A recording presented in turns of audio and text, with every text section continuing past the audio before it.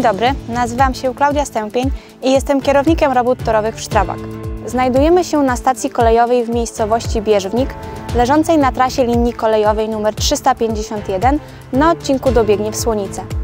Jest to fragment modernizowanej linii E59 od Poznania do Szczecina. Stacja Bierzwnik jest pierwszą przebudowywaną w ramach tego kontraktu. Znajdujemy się na nowym peronie dwukrawędziowym, wybudowanym w ramach tej fazy robót pomiędzy torami numer 2 i 4. Peron ma długość 200 metrów i wysokość 76 cm powyżej główki szyny. Dla komfortu podróżnych na peronie znajduje się wiata ciągła o długości 30 metrów.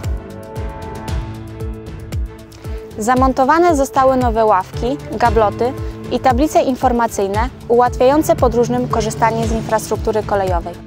Dla osób niedowidzących w nawierzchni peronu zainstalowane zostały elementy ułatwiające poruszanie się, ścieżki naprowadzające, pola uwagi, guzki przy pasie bezpieczeństwa.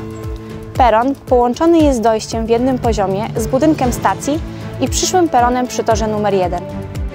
Oprócz nowego peronu przebudowane zostały tory numer 2 i 4 wraz z podtorzem, odwodnieniem i siecią trakcyjną. Przebudowany został także przejazd kolejowo-drogowy wraz z drogą dojazdową w zakresie torów numer 2 i 4. Zakończenie przebudowy strony nieparzystej stacji zaplanowane jest na lato 2022 roku.